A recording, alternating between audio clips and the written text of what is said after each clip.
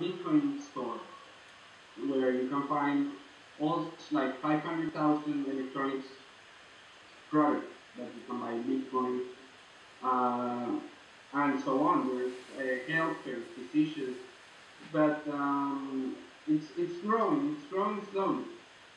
Uh, as I say always, and my two articles in Al that I have uh, written so far, I've always finished them by saying that Bitcoin, Bitcoin is growing step by step. So it's, it's, it's, it's a gradual process. Uh, but it, it, it, it, never stops and it has been accelerating uh, in the last few months, mm -hmm. uh, where uh, specifically three major websites decided to start accepting Bitcoin, uh, Mega, uh, Reddit, and the one I think is most interesting is WordPress. The thing is that WordPress uh, is a web services provider that serves it's the 20th largest website uh, in, the, in, in, the internet, and uh, their their argument is really compelling because they say PayPal is blocked in dozens of nations, um, and for that reason, uh, bloggers uh, in Kenya or bloggers in Iran uh, don't have access to our publishing platform, and um, this is a hindrance to freedom of expression around the world. So, uh, by accepting Bitcoin, by WordPress accepting Bitcoin, it, it, makes a really strong case for how uh, a P2P distributed, distributed uh, monetary system that is not owned or controlled by any power um, really uh, changes, has a really big political effect eventually. And this is like, um, I think that my, my strongest, the strongest argument I see for Bitcoin or for a currency that is at least similar to Bitcoin is that uh, that this the, the, the, the, kind of money that we have been using uh, in the modern era is always has always been uh, produced through debt. Uh, it is created by lending uh, money and through the mechanisms of fractional reserve banking, uh, new money is created. Uh, this is called fiat money, and um, the problem I see with this is that it creates it, creates a society that's basically based on debt. In, like ultimately, the the root of money is, is debt, and debt is backed by violence. So really, I think that's the answer to Krugman. Uh, that um, Bitcoin, what, what, what, what, it, what it does is that it, it is not based in violence. And uh, when, when you try to find the value, where is the value on our money, where is the value of the dollar, where is the value on every, any national currency, is basically on, a, on the violence that the state can, can uh, exert over, over the citizens that choose to not pay their debt.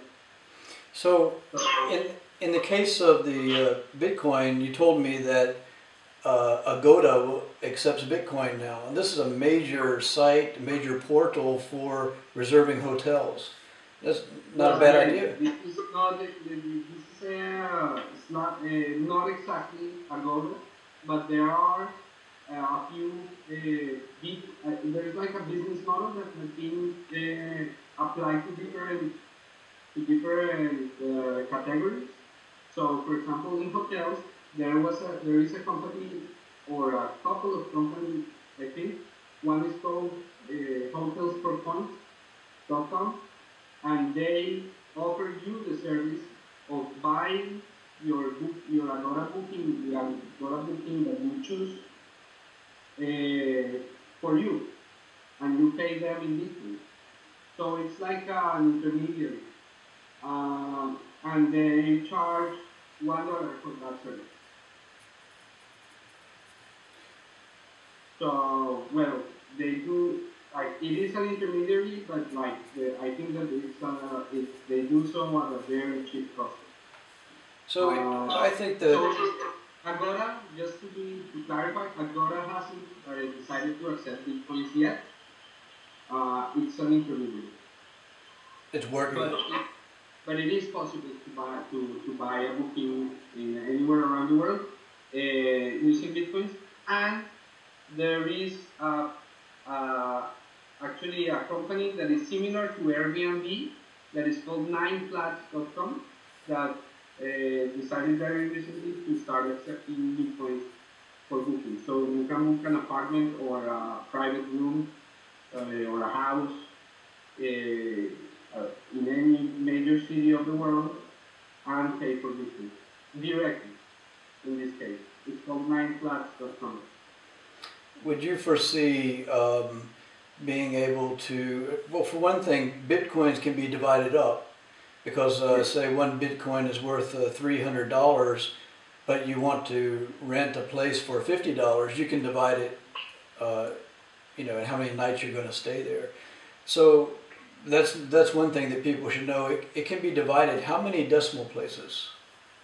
Hey, Eight decimal places. Okay. yes, so, so that means that one Bitcoin can be divided in 100 billion parts.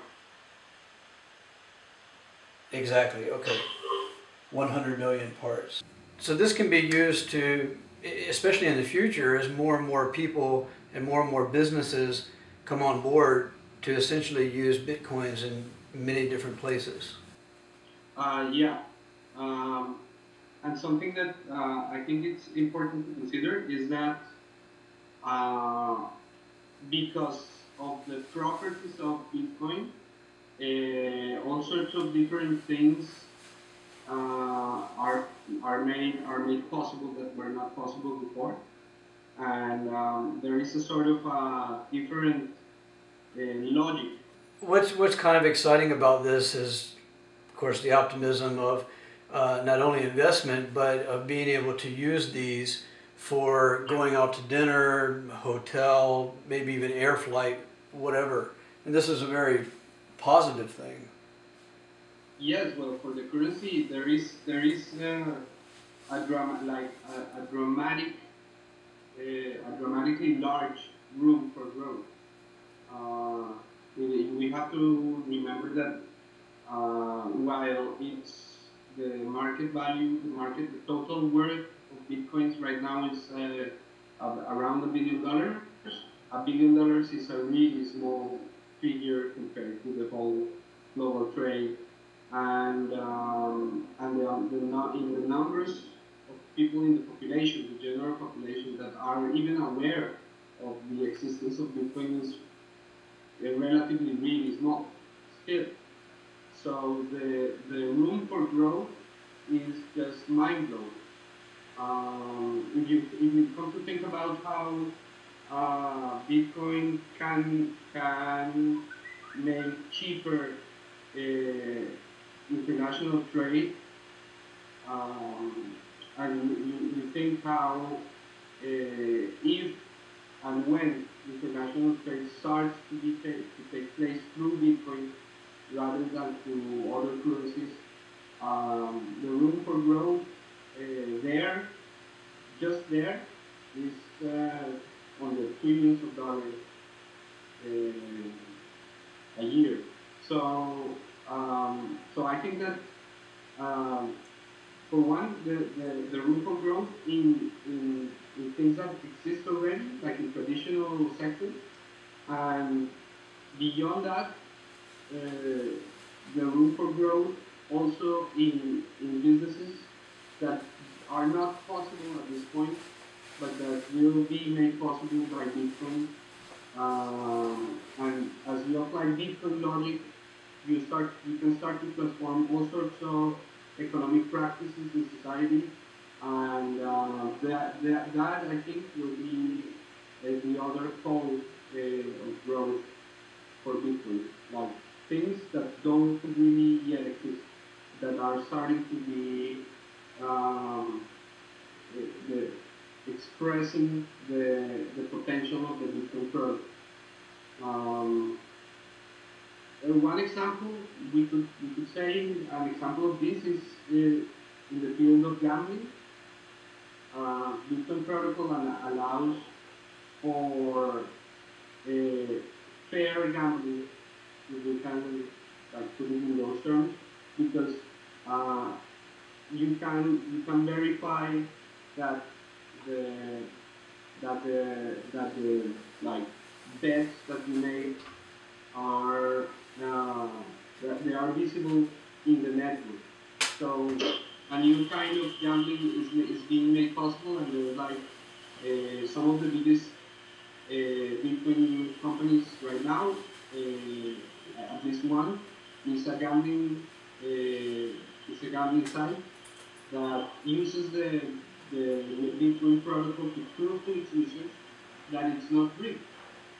So that's um, that's an innovation in a, in a sector, uh, and in a similar way, many other sectors can start applying Bitcoin logic uh, to what they do, to their markets and to their products, and um, and really see uh, open open up like new possibilities. So I think that that that, that it has a huge room for growth. Yeah, definitely new possibilities. I think everybody can see that. Uh, Nicolas, uh, thanks a lot. It was great talking to you tonight. Thank you, Layne. Thanks for having me. Okay. Bye Bye-bye. Bye bye.